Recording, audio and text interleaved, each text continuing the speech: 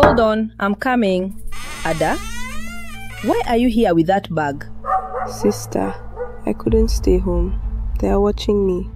Come inside quickly. I told you to lie low. Why bring this here? My husband will soon be home. I had no choice. Please, just keep it for tonight. Wait, what are you doing? Jesu. Ada, you are supposed to wait. I couldn't. They were closing in. This girl is going to kill me.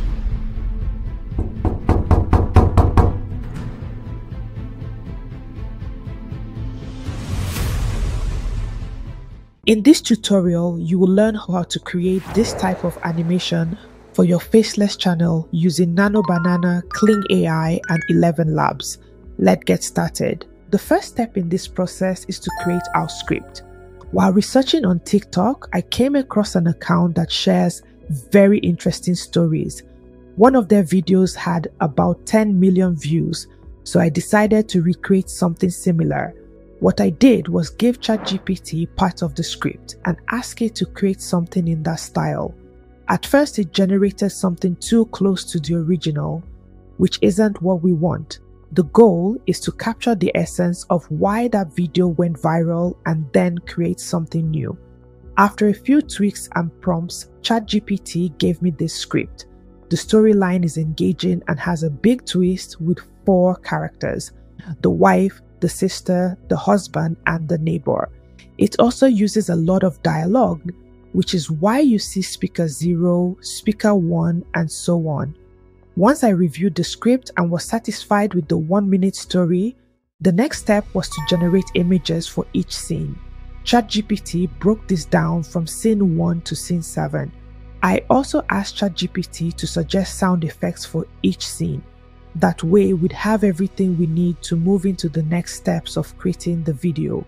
Based on the prompts I gave, ChatGPT provided each scene along with sound effects, which we'll use later in this tutorial. Once I had that locked in, the next step was to generate the characters. ChatGPT gave me a detailed breakdown for each character. The wife, a modern Nigerian woman with age, hair, outfit, accessories, and expressions. The younger sister, the husband, and the neighbor. So now we have the script, the images, the sound effects, and the, the character designs. The next step is to design the voices for the characters. Since the script relies heavily on dialogue, I'll be using ElevenLabs. ElevenLabs allows you to create voices with emotion and set them up for dialogue. Once you log into your ElevenLabs account, you'll see voice design on the homepage.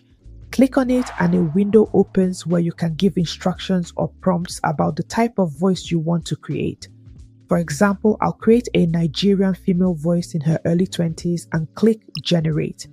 ElevenLabs will create three voices you can preview and decide which one works best. Ah, good morning, oh. How are you doing today? Me, I'm just trying to. The emotions in these voices are really solid. Once the voices are generated, the next step is to create the dialogue. For that, I will click on Text to Speech. Clicking on Text to Speech opens the editor. ElevenLabs has different models, but for this project, I'll be using version 3 alpha because it lets you add emotion tags directly into your script. For example, if I want a character to sound surprised, I just put the word surprised in square brackets. Let me show you. Click add a speaker, choose the voice you want. I'll use Niger female one, then type or paste the line.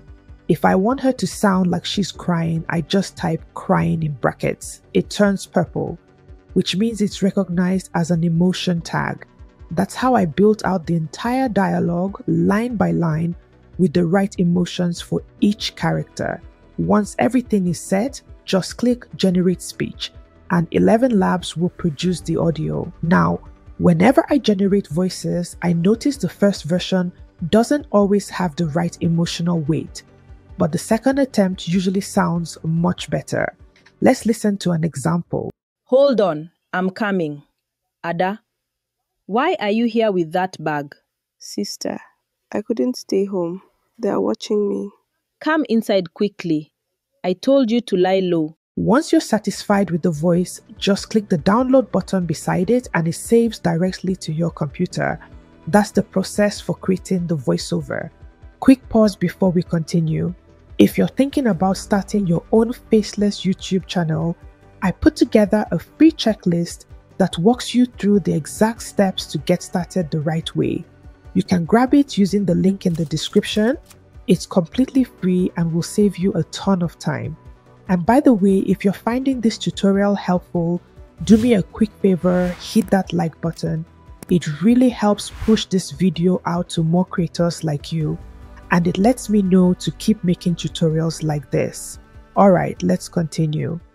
Now that we have the voiceover, the next step is to use the image cues ChatGPT provided to start generating the characters and scenes. The first thing I did was generate the base images. Instead of generating each scene from scratch, I decided to first create standard images of each character on a plain background. This way, I could easily reuse and edit them later using Nano Banana model. For image generation, you can use AI tool of your choice. Since I'm working with 2D animation and wanted a specific look, I use Midjourney, but you don't have to. For example, I generated the wife character with an olive green background, the police officer, the husband with the look I wanted, and finally the younger sister. Once I was happy with all the characters, I downloaded them to my computer. The next step was to start placing these characters into scenes based on the cues ChatGPT provided. I asked ChatGPT to create image prompts for each scene and it gave me detailed instructions along with sound effects for scenes 0 through 7. To show you how I created some of these images, let's go into Dzine AI. I use Dzine AI in the, this tutorial because it allows me to create and animate images all in one platform using the most popular AI video generators. When starting a new project, I made sure to select the 16 by 9 aspect ratio since we're creating a YouTube video. Of course, you can pick any ratio that fits your project. For the first scene, I wanted the sister to knock at the door before the wife comes to open it. To do that, I needed to create a close-up shot of her hand knocking. Since this wasn't a full character shot, I just imported the sister's image and used it as a reference. In the chat editor, I typed in a prompt like, show only her right hand knocking on the home door, close-up shot 2D animation style. I made sure to specify that the style is 2D, not 3D. For the model, I tested different ones like Seedream 4.0 and Flux Kontext, but Nano Banana worked best for me. Once you select it and click Generate, it processes the task.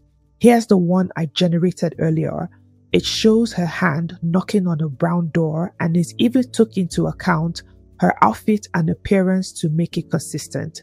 Now, once the knocking scene is done, the next scene is the wife opening the door and seeing her younger sister, Ada, clutching a bag and looking worried.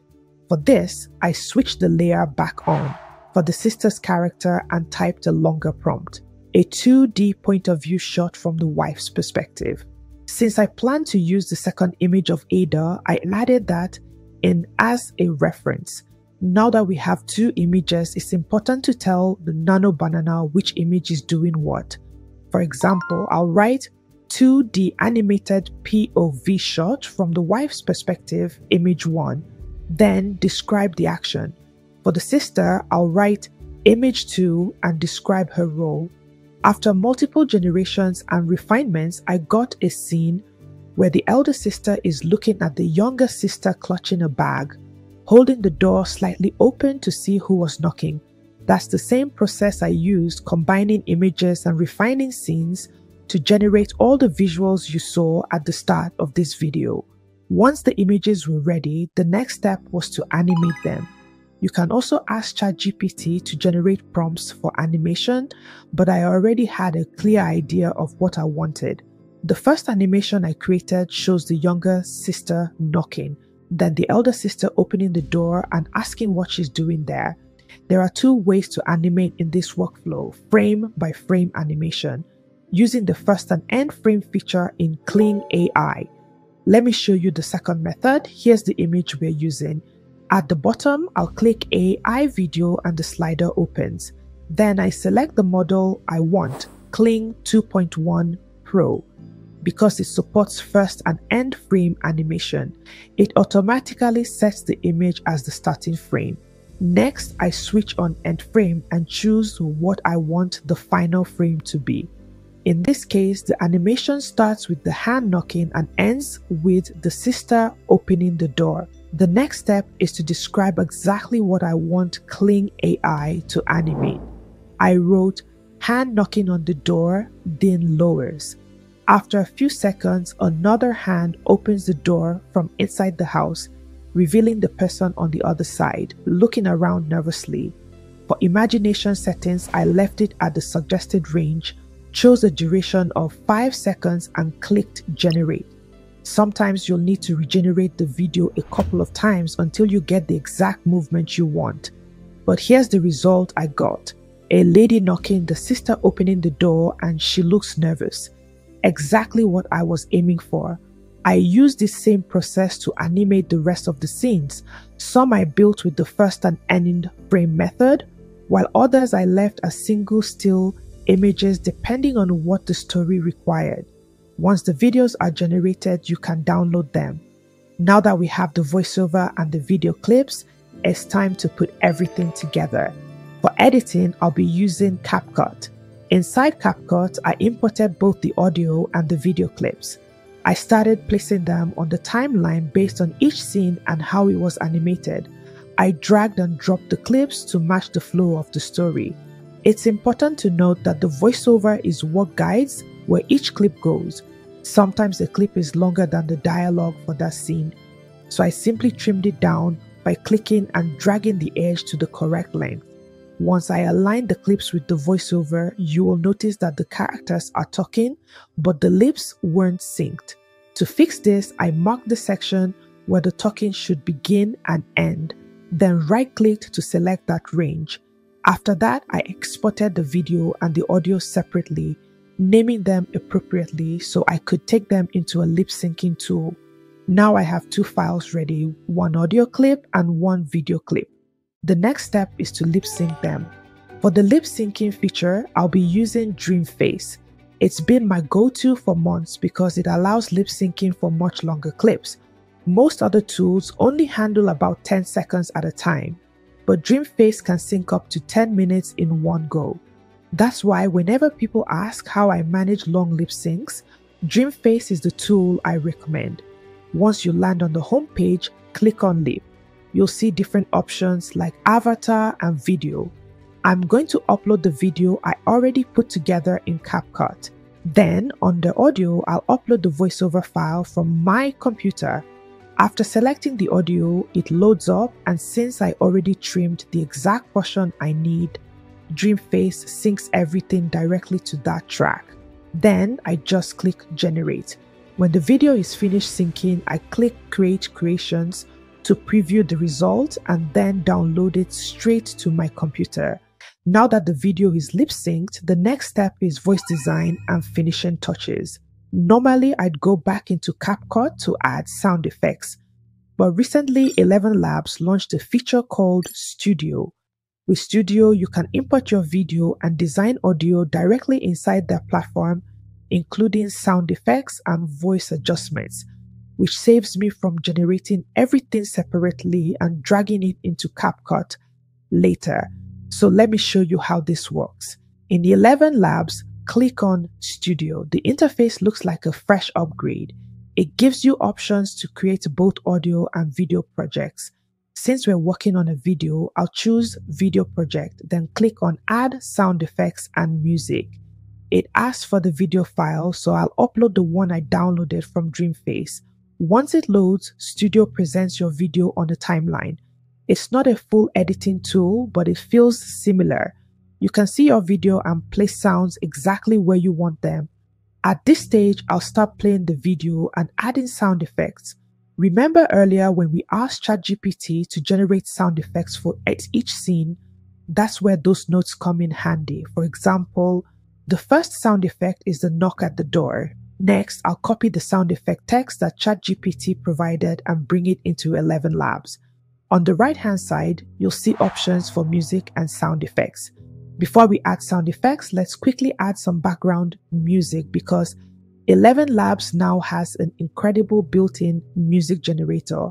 Click on music, then describe the type of track you want.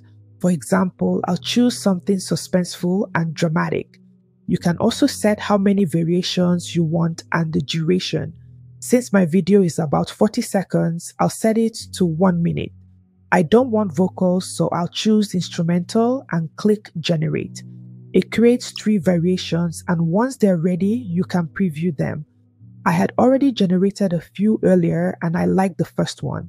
So I'll just click the plus icon to add it. The music imports directly into the timeline. From there, I adjust the volume so it doesn't overpower the dialogue. Then I move back to the start of the video and add the first sound effect. Click on SFX and you'll see a large library of sound effects. You can also generate your own. Uh, for this first scene, I want an urgent knocking sound. I set the prompt, leave looping turned off, keep the length on auto and adjust the prompt adherence to about 40 to 45.